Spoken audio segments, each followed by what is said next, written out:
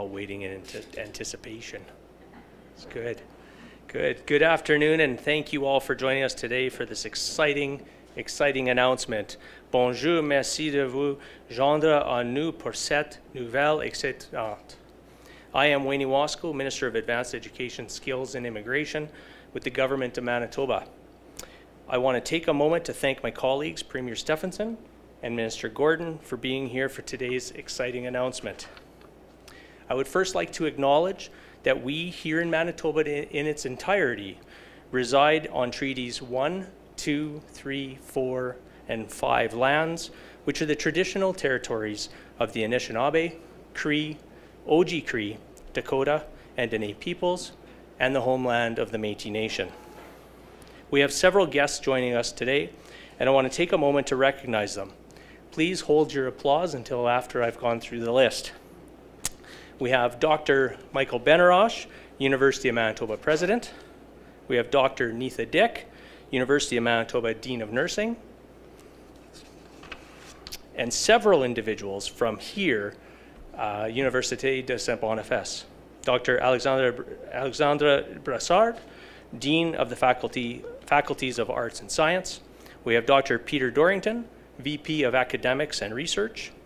Mr. Richard Frechette, VP of Administration and Finance. Mr. Daniel Gagne, Dean of the School of Nursing, Nursing Sciences and Health Studies. Ms. Lucille Griffiths, Director of Finance. Mr. Alphonse Lasso Helou, Chair of the Board of Governors.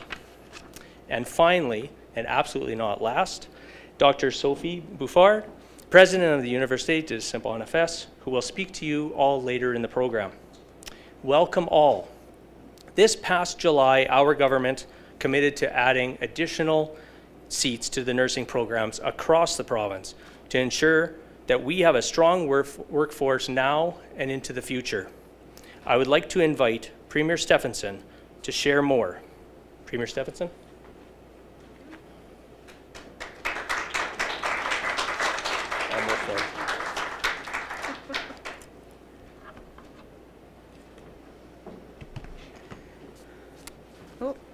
Just broke my mask. There we go.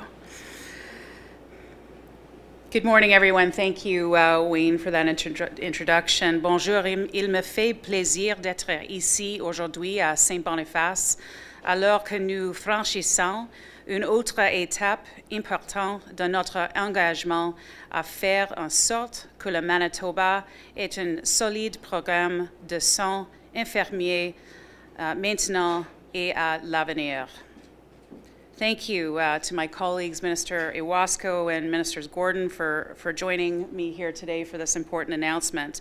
And I want to thank Dr. Uh, Sophie Bouffard as well, uh, President of Université de Saint Boniface, and your team for hosting us here this afternoon. It's always great to be in Saint Boniface. I also want to welcome and acknowledge uh, Michael Benarroch, University of Manitoba President, uh, Netha Dyck, uh, University of Manitoba Dean of Nursing, and uh, not sure if Fred Meier is here as well. I'm not sure, but uh, uh, thank all of those uh, and all those as well who we had the opportunity to meet just earlier who are here with us today. Thank you to all of you for your leadership, dedication, and willingness to adapt your programming and operations to meet the evolving needs of the pandemic and Manitoba's future workforce. Our government is keen to work closely and collaboratively with our post-secondary institutions and employers so Manitobans and newcomers can gain the skills to build their careers right here at home. I want to recognize and commend the incredible contribution of nurses working in hospitals, personal care homes, and community home care services across our province. We know that this pandemic has put an enormous strain uh, on our nurses and our healthcare system, so we thank, thank them for that. Their contributions uh, to patient safety and quality care have never been uh, needed or appreciated more than ever than the, than the last two years. And so today I am pleased to announce uh, 19 $1.5 million to fund the first phase of this expansion that will add 500, or sorry, 259 nurse training seats at five post-secondary institutions across the province as part of our multi-year plan to add almost 400 seats. J'ai donc le plaisir d'annoncer aujourd'hui un financement de 19,5 millions de dollars pour la première étape de cette expansion qui ajoutera 259 places de formation en soins infirmiers dans cinq établissements postsecondaires de notre province dans le cadre de notre plan pluriel visant à ajouter près de 400 places. The significant investment will expand nursing seats by almost 50% at full implementation. The new seats will be located throughout the province, in addition to campuses in Winnipeg, Brandon, and Thompson. Another five communities in rural and northern Manitoba will benefit from these new uh, nursing seats closer to home. We believe it's important to offer programs closer to home. This not only increases access to opportunities for students, but also supports healthcare facilities and communities who recruit graduates of these programs. I'm pleased to share that we have worked collaboratively with post secondary institutions to increase their capacity in a sustainable manner that will increase the pool of trained nurses well into the future. And I would like to thank these institutions for their efforts and response to the urgency of this challenge. Our government is committed to building a better healthcare system for all Manitobans that includes a strong nursing workforce that is able to care for our health needs with skills and compassion now and into the future. Thank you et merci.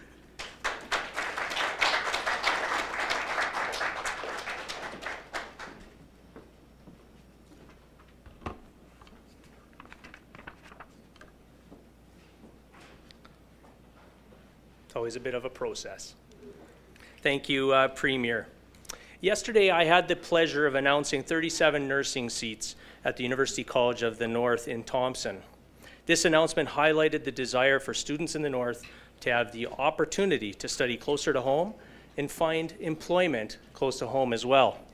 I would like to invite Minister Gordon now to say a few words.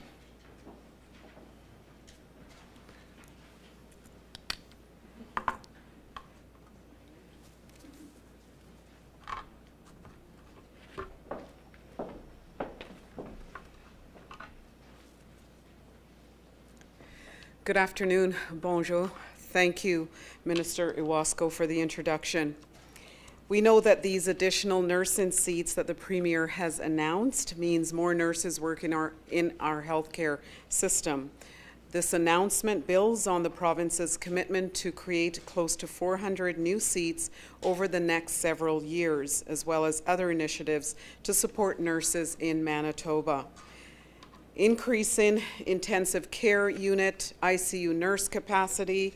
Um, uh, they will also be used to support internationally educated nursing applicants to begin practicing in Manitoba. We will be introducing the province's first uh, undergraduate nursing employee program and we've added 60 new full-time nursing positions to ICUs at the Grace Hospital, St. Boniface, and Health Sciences Center hospitals in Winnipeg and in Brandon. I join the Premier in recognizing and commending the incredible contributions of nurses working in hospitals, personal care homes, and community home care services across the province. And as, I've said many times before, this pandemic has put an enormous strain on our nurses and our healthcare system. And our government remains committed to building a better healthcare system for all Manitobans. And that healthcare system will include a strong nursing workforce that is able to care for our health needs with skills and compassion now and into the future. Congratulations to all the recipients. Thank you. Merci.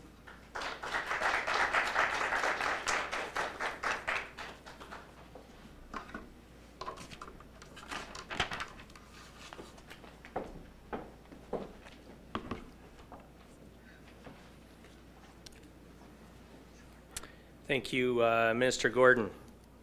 Il me fait grand plaisir de raconter, de connaître les efforts de le docteur uh, Bouffard et de son équipe qui ont placé l'Université de Saint-Boniface à l'avant-garde de l'expansion des places en soins infirmiers au Manitoba. I would like to invite Dr. Bouffard to share a few words. Dr. Bouffard?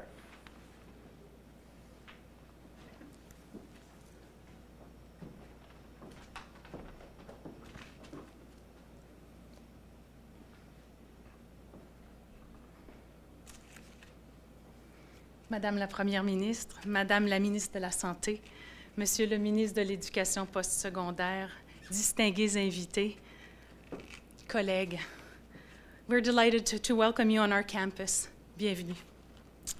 L'Université de Saint-Boniface est ravie de recevoir la confirmation d'un octroi récurrent de plus d'un million de dollars provenant du Fonds pour la stabilisation du personnel infirmier, lui permettant d'augmenter de 30% le nombre de places dans son programme de baccalauréat en sciences infirmières et de 50% dans son programme de diplôme en sciences infirmières auxiliaires. En plus de l'accueil de plus grandes cohortes au sein de nos deux programmes, je me permets d'offrir des précisions sur deux autres volets de ce financement qui ne doivent pas passer sous silence.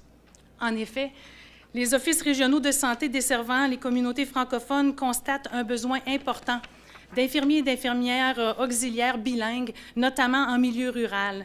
Alors, ce financement additionnel confirmé aujourd'hui permettra aussi à l'Université de Saint-Boniface de mettre de l'avant des mesures visant à augmenter la participation des étudiants et des étudiantes francophones en milieu rural.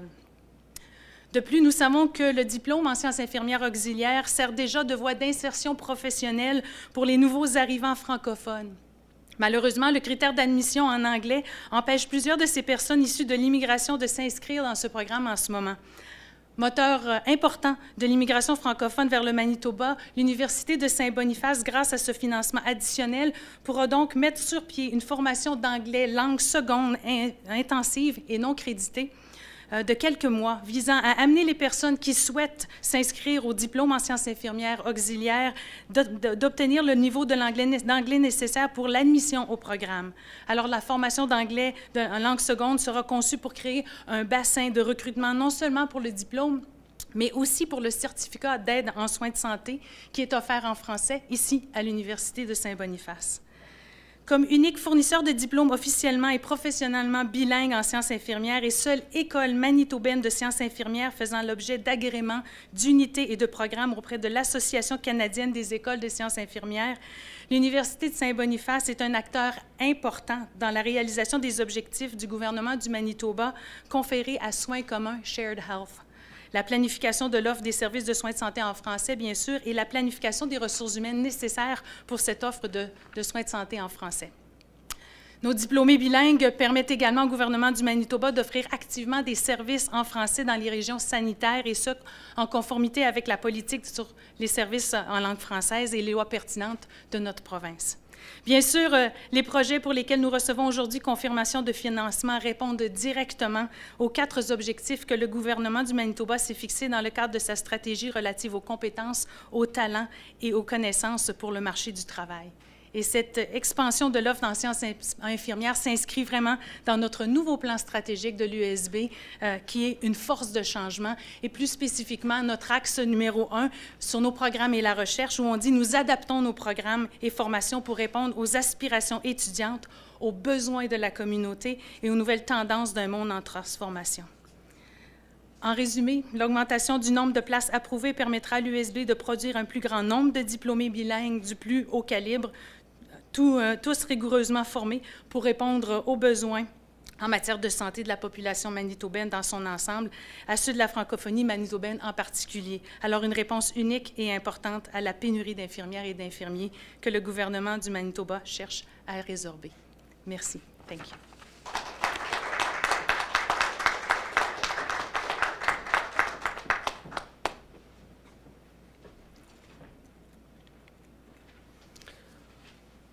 Encore une fois, bravo, Dr. Bouffard, pour votre leadership et votre collaboration étroite avec l'équipe de mon ministère.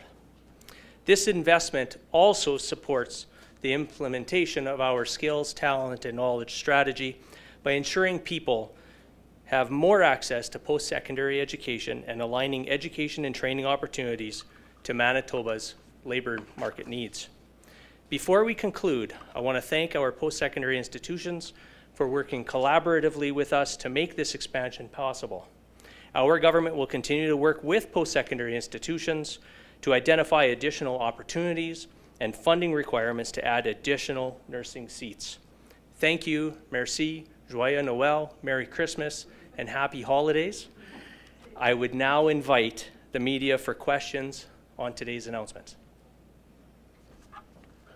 259 seats we're talking about funding today, those are part of the 400 that were announced earlier this year? Correct. Great question. that your plan looks like a long-term program, but we have a problem now. What's the immediate solution now to uh, keep the nurses in the province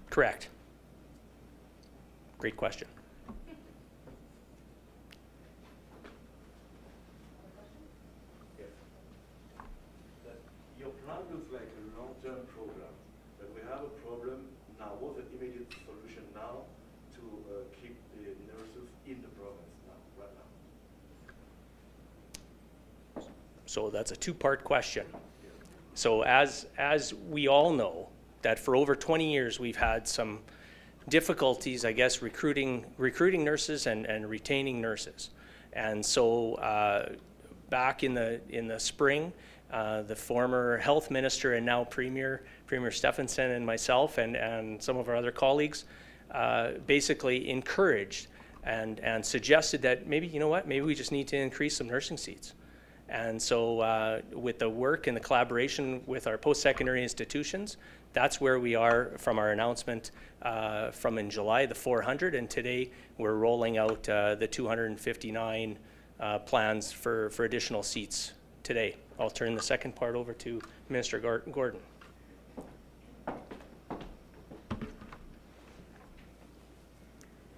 I'll be stealing some of Minister Wasco's thunder because the, the second half of your answer pertains to his ministry. So we also have an internationally educated nursing program.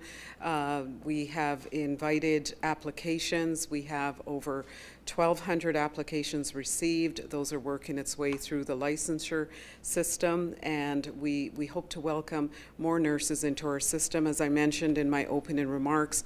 Also, the undergraduate nursing education program. I, I, was pleased to see that uh, over 75 applicants came forward from third and fourth year graduates.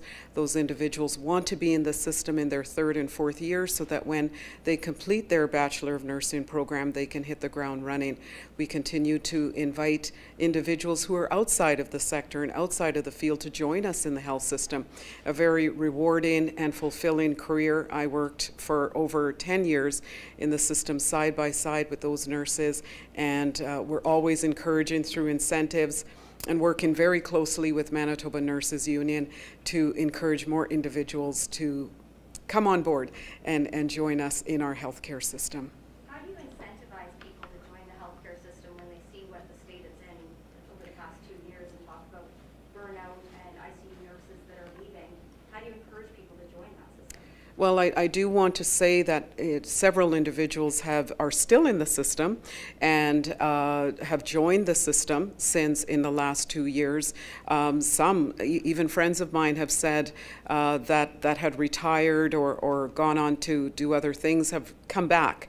And so, incentivizing through, as you know, um, uh, finalizing a very um, a, a collective agreement with, with our nurses and uh, and uh, working very closely with Manitoba Nurses Union and College of Registered Nurses of Manitoba. There's still a lot of of individuals who want to join the system, and, and we welcome and encourage them to to get on board. Very, as I said, rewarding and full, fulfilling career and and it gets better uh, as we work together, nurses and other professionals within the system.